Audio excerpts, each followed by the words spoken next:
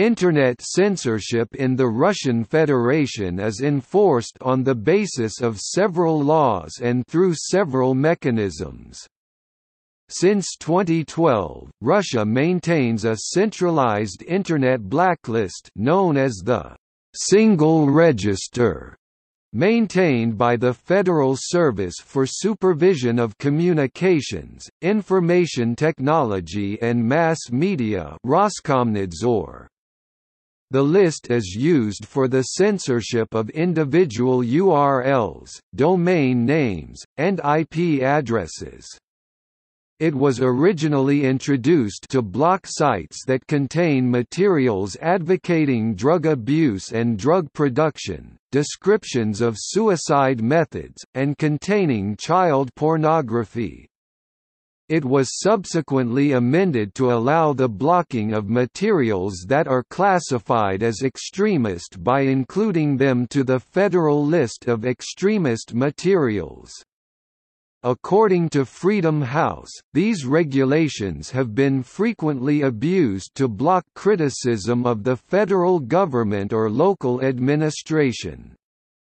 A law prohibiting abuse of mass media freedom implements a process for the shutting down of online media outlets.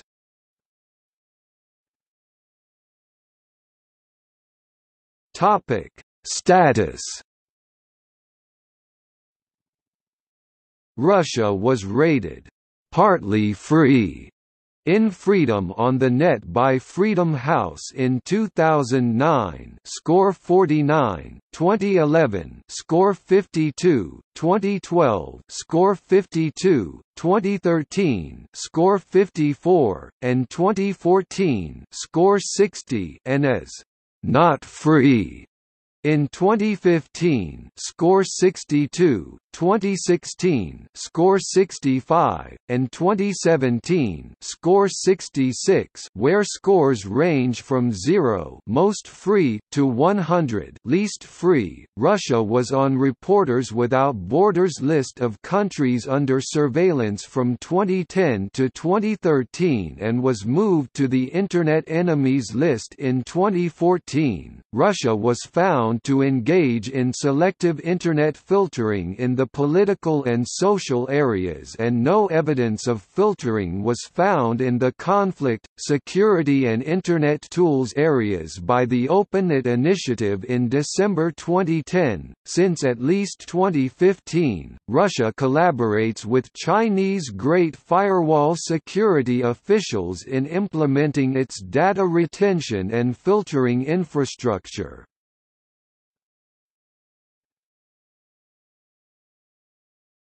Topic: Agencies.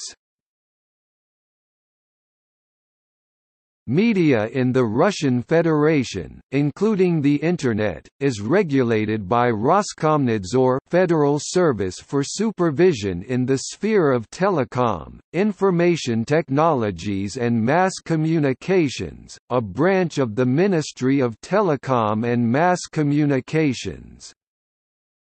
Roskomnadzor, along with several other agencies such as the Federal Drug Control Service, the Federal Consumer Protection Service, and the Office of the Prosecutor General, can block certain classes of content without a court order, calls for unsanctioned public actions, content deemed extremist, materials that violate copyright, information about juvenile victims of crime, child abuse imagery, information encouraging the use of drugs, and descriptions of suicide.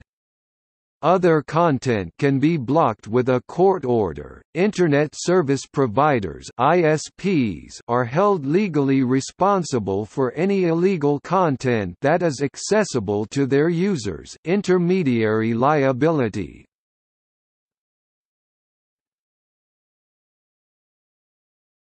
Topic: History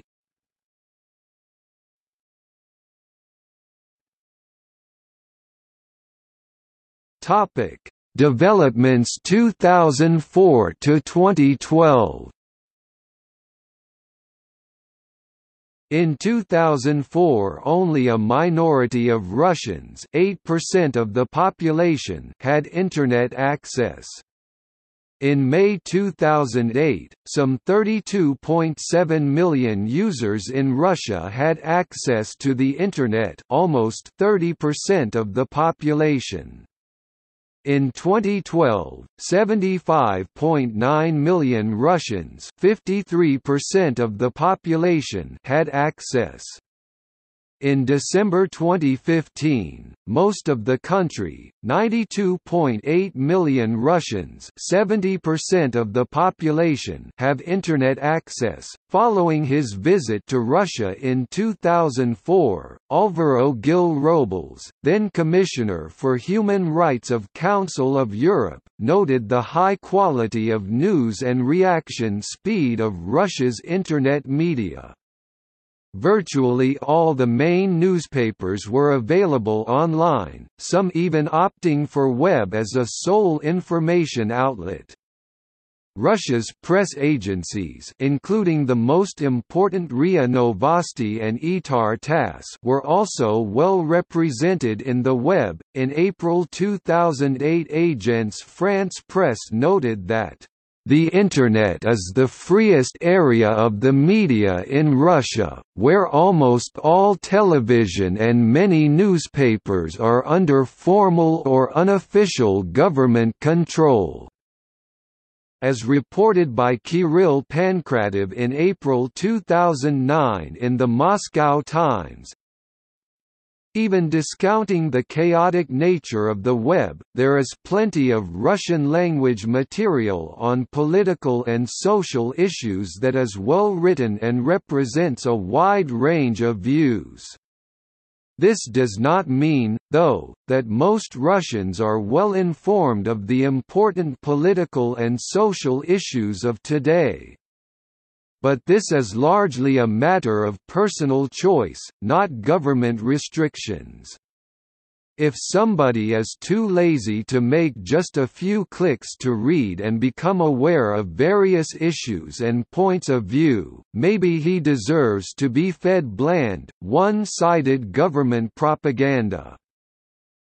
In a November 2009 address to the Federal Assembly, then-President of Russia Dmitry Medvedev acknowledged that Russia was ranked only as the world's 63rd country based on estimates of the level of communications infrastructure development. He stressed the necessity to provide broadband Internet access to the whole Russian territory in five years, and to manage the transition to digital TV, as well as the 4G of cellular wireless standards. In 2010, OpenNet Initiative noted that while the absence of overt state-mandated Internet filtering in Russia has led some observers to conclude that the Russian Internet represents an open and uncontested space. The government had a consistent, strategic approach to taking control over the information in electronic media. 2007 cyberattacks on Estonia and cyberattacks during the Russo-Georgian War 2008 may have been an indication of the government's active interest in mobilizing and shaping activities in Russian cyberspace.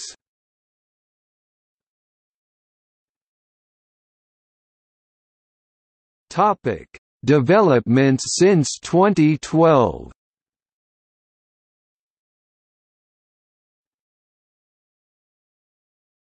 Topic: Establishment and expansion of the blacklist. First countrywide judicial censorship measures were taken by the government in the wake of the 2011–13 Russian protests. This included the Internet Blacklist Law, implemented in November 2012. The criteria for inclusion in the blacklist initially included child pornography, advocating suicide and illegal drugs. In 2013, the blacklist law was amended with content suspected in extremism, calling for illegal meetings, inciting hatred, and violating the established order. The law allowed for flexible interpretation and inclusion of a wide array of content. Popular opposition websites encouraging protests against the court rulings in Bolotnaya Square case were for example blocked for calling for illegal action. Dumb Ways to Die, a public transport safety video, was blocked as suicide propaganda.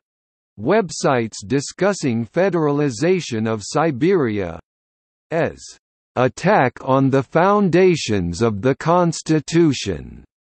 An article on a gay activist being fired from job as well as LGBT support communities. As propaganda of non-traditional sex relations.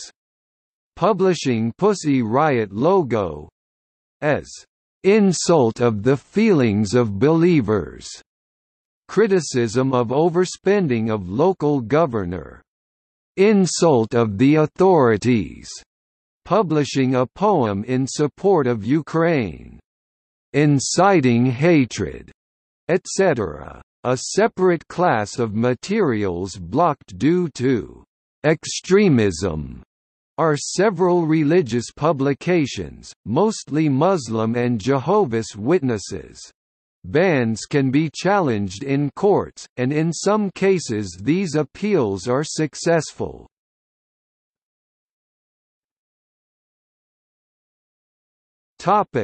Proposals for further controls. In 2015, Russia's Security Council proposed a number of further Internet controls to prevent hostile influence on the population of the country, especially young people, intended to weaken cultural and spiritual values.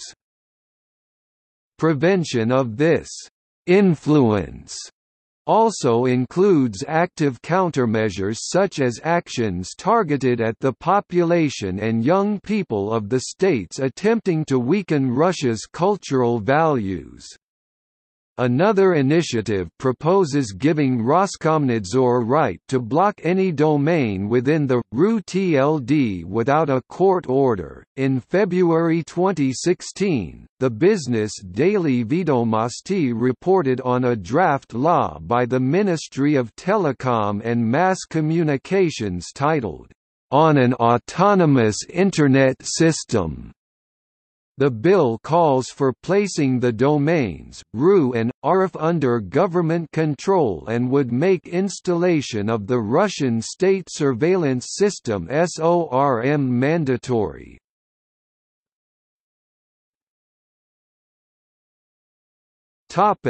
Ban on VPN and anonymizer providers A ban on all software and websites related to circumventing Internet filtering in Russia, including VPN software, anonymizers, and instructions on how to circumvent government website blocking, was passed in 2017.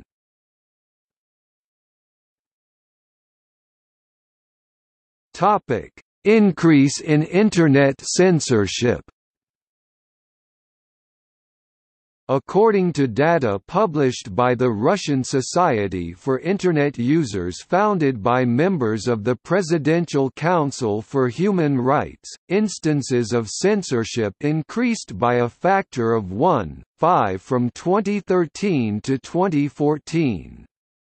The incidents documented include not only instances of Internet blocking but also the use of force to shut down Internet users, such as beatings of bloggers or police raids. Human rights NGO Agora reported that instances of Internet censorship increased ninfold from 2014 to 2015, rising from 1,019 to 9,022. In 2018 Russian government eventually introduced a country-wide ban on Telegram Messenger after a long dispute on handing encryption keys.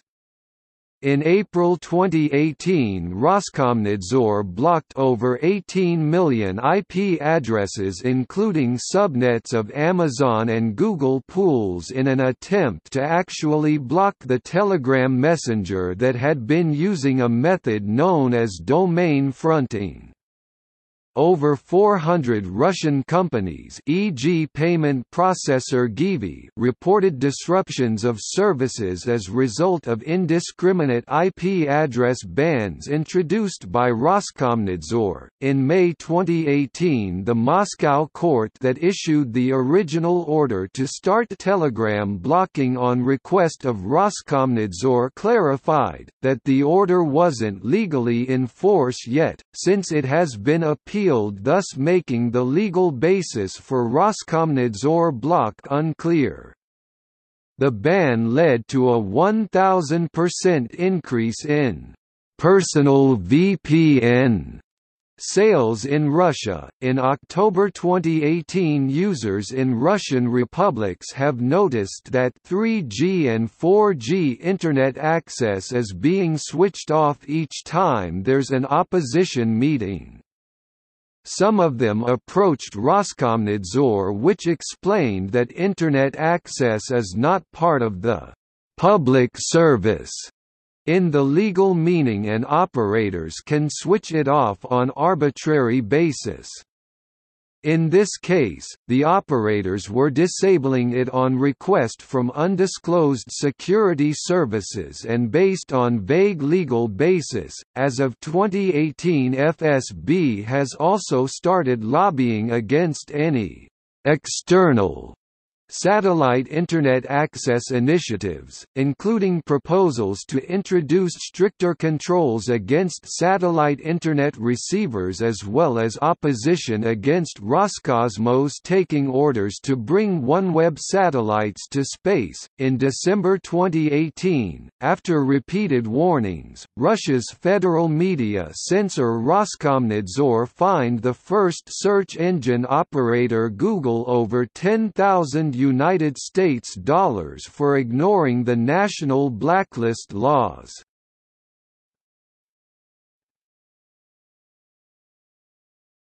Topic: Monitoring.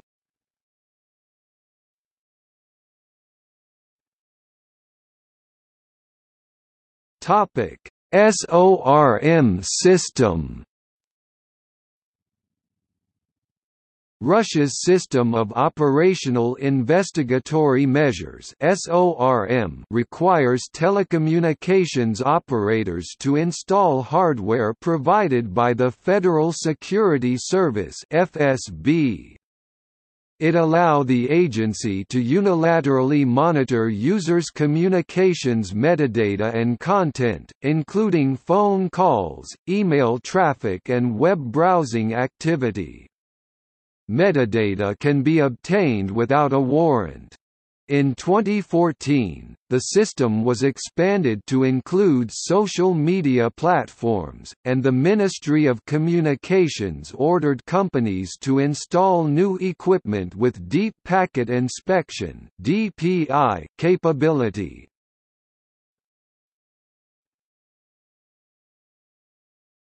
Topic: Data retention. The Bloggers Law passed July 2014 is an amendment to existing anti-terrorism legislation which includes data localization and data retention provisions. Among other changes, it requires all web services to store the user data of Russian citizens on servers within the country. Sites which did not comply with this requirement by September 2016 may be added to the Internet blacklist. Since August 2014, the law requires operators of free Wi-Fi hotspots e.g. in restaurants, libraries, cafes etc. to collect personal details of all users, identify them using passports, and store the data. The Yarovaya law passed July 2016 is a package of several legislative amendments which include extensions to data retention.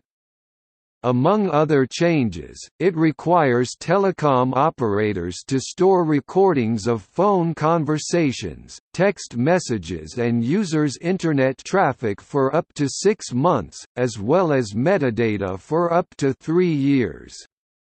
This data as well as all other information necessary is available to authorities on request and without a court order. As of January 2018, companies registered in Russia as organizers of information dissemination such as online messaging applications, will not be permitted to allow unidentified users.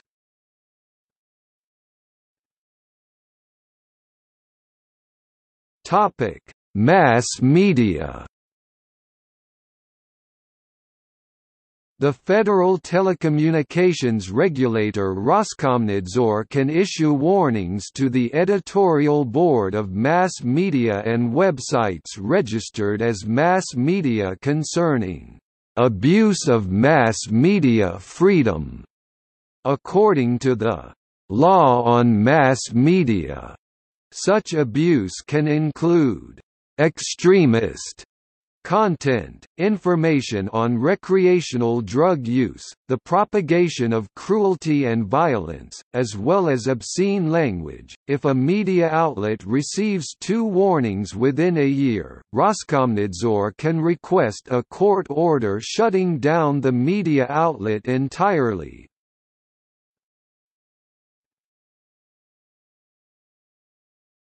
Topic: Internet blacklist.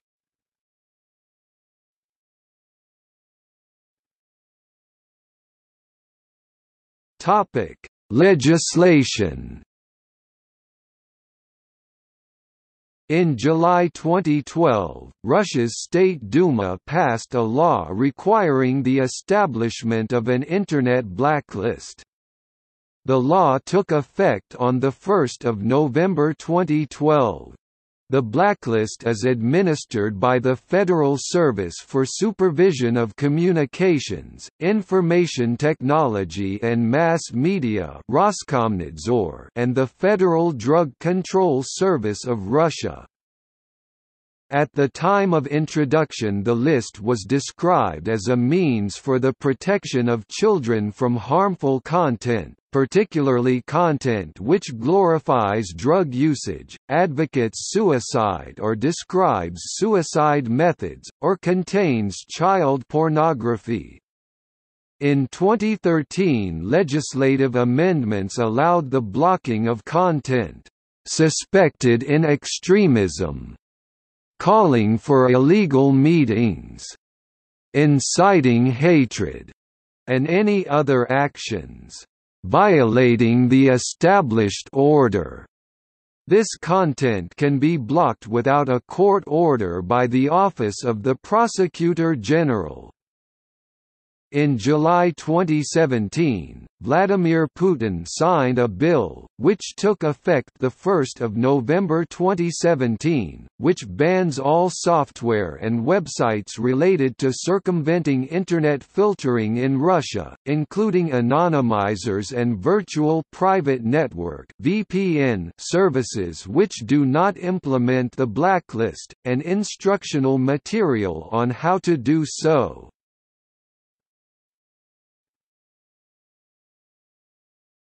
Topic: Implementation. The implementation of the blacklist as outlined in a government decree issued in October 2012, Roskomnadzor offers a website where users can check to see whether a given URL or IP address is in the blacklist, and can also report websites which contain prohibited materials authorities. After a submission is verified, Roskomnadzor will inform the website's owner and hosting provider. If the material is not removed within three days, the website will be added to the blacklist, and all Russian ISPs must block it. The full content of the blacklist initially was not available to the general public, although soon after it was implemented, a leaked list of blacklisted websites was published by a LiveJournal user on 12 November 2012. The searchable blacklist interface was made available as a full list by activists. As of July 2017 it includes over 70,000 entries.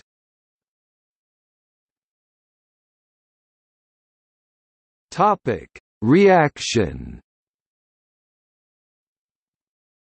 Reporters Without Borders criticized the procedure by which entries are added to the blacklist as extremely opaque and viewed it as part of an attack on the freedom of information in Russia.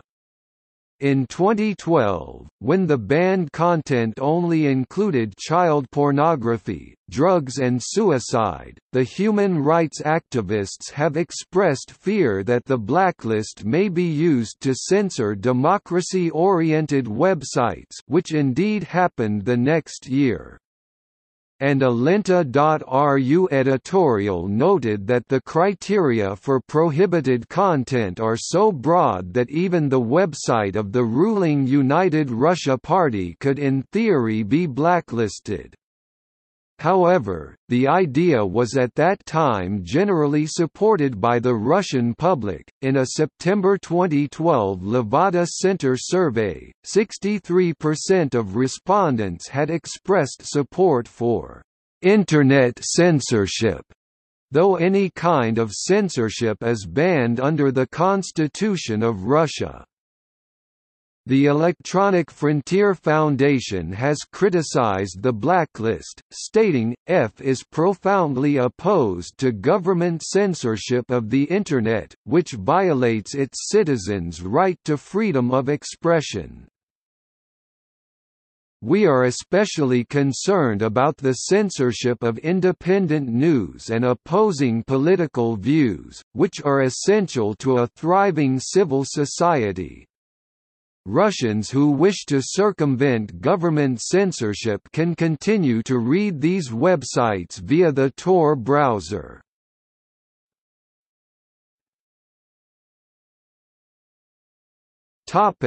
Instances of censorship A number of websites maintain lists of websites currently blocked in Russia, based on different sources of information.